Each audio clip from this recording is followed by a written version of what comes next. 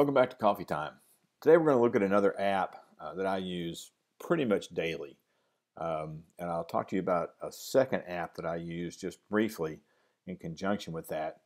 Normally these videos look at how we can use websites and apps in the classroom with students and this app is able to do that, but I find this app for me more uh, conducive to looking at how I connect with my PLC, how I learn more about my own craft, and how I share with others about that craft. And I'm talking about the app called Zite, the Zite magazine. So if you want to grab a cup of coffee, uh, get comfortable, we'll take a look at that app.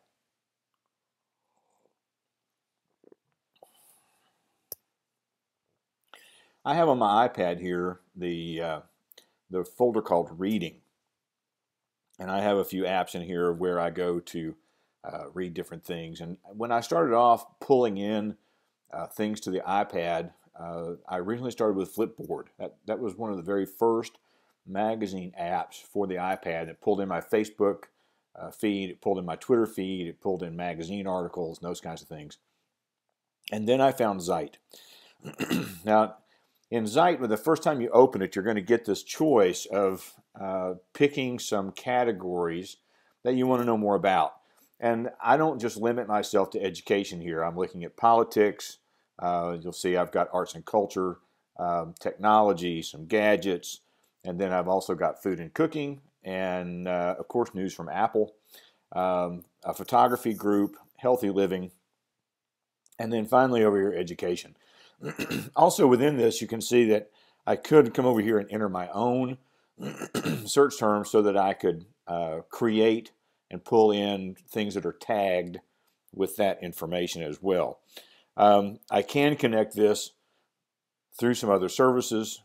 Um, I have my Twitter feed in here. I have my Google Reader feed in here.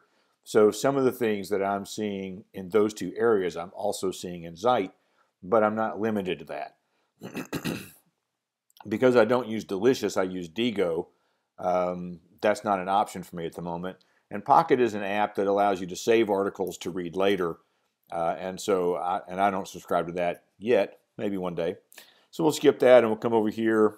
We will tell this that we're done and it will bring in um, all of the latest articles and it's updated throughout the day. So I could look at it now and I could look at it in a couple of hours and it will have added new stories here. the splash page gives me on the right hand side, it gives me the tab the, the tabs for all of the areas that I've chosen to look at. And if I were to come down here and tap on the one for education, it will open up all of these articles and I can just swipe from one page to the next looking for articles that are of interest to me. Uh, and if I spot one, now let's just come back here and pretend like I do. 12 YouTube videos every educator should view. Well, that sounds interesting. So I just tap that and it brings it up in a reader. Um, and I can scroll through the reader. Um, some YouTube videos, of course, will play. Others that are still in Flash will not. Um, but you'll also see some options here that make this interesting. Now, there is an option over on the right. Did I enjoy reading it? Yes or no? And if I choose yes, they're going to find more articles similar to this one. If I choose no, then they're going to find fewer articles that are like this one. Um, and I don't use that a lot, and I'll tell you why. One of the reasons is I'm afraid that if I personalize it too much, I will only find articles that I like. And I also in, I also need to read articles or viewpoints from people that I don't necessarily agree with or that um, you know subject matter perhaps that I don't appreciate because that helps to keep me balanced it helps to keep me thinking so I don't I don't rank that a lot however I could tell it that I want it to give me more about education technology or more about 21st century learning or I could tell it that I want to find more articles from this author um, and so all of those things are there also if you look down at the bottom I have several ways to share this. I can share it immediately to my Twitter account and, and send it out as a tweet. I can also post it to my Facebook wall. Uh, and uh, I've, I've logged out of that since then, so we won't go there. I can send it as an email if I want to.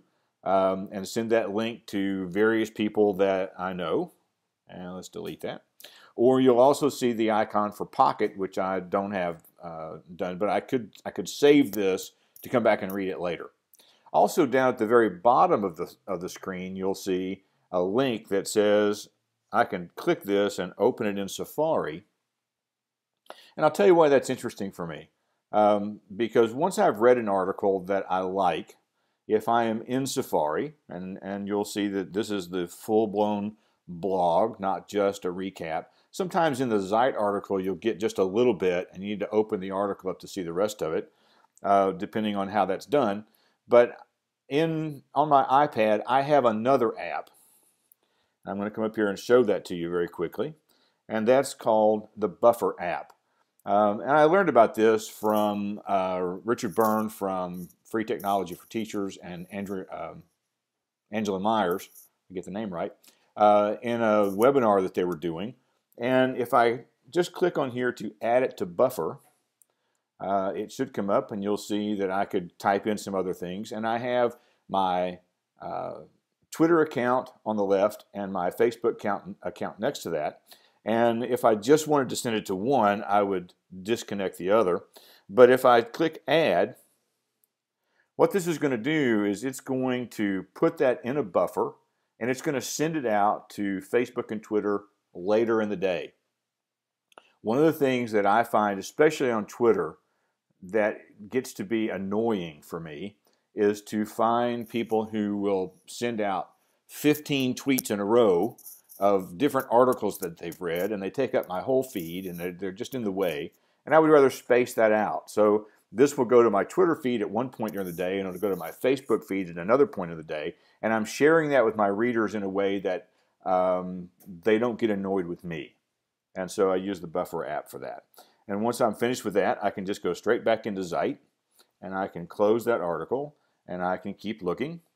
Uh, if I want to go back to home, I just click that. brings me back over here to all of the things on the uh, right hand side of my screen and I can continue reading through the articles. Um, you'll see um, some pages uh, if you'll notice down at the bottom of this page, there are a number of dots. That's how many pages there are. And you'll see that that, that dark gray dot is going through to show me how many pages of information is here. Sometimes there's very little information. Sometimes there's a lot of information. So I use Zite on a regular basis. Uh, I pretty much read it every day. Um, I, I don't read every article, but I look through, I see things that are I think are interesting to me, and I'll, I'll pull it up and look at it. And uh, it's surprising the number of times that I run across blog posts from people that I know um, and and respect, and I and I enjoy seeing their name in there. I don't think mine's been in there yet. Uh, maybe one day. So as you're looking at ways to connect knowledge uh, as a teacher, I think Zite is a great way to do that. It is it's pulling again with Web 2.0, Web 3.0.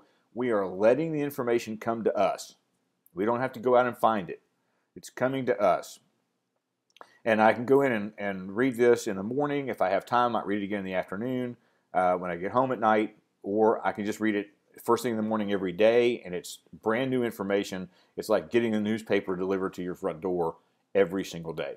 So I suggest, I, I strongly recommend that you download the Zite app, take a look at it, see if there's things in there that you might like. I've uh, not only uncovered a lot of stuff about education, learned some new things about Apple products, um, but I've also found some really great recipes and um, trying to live more healthy. So, uh, in the meantime, enjoy some coffee, and uh, we'll see you next time.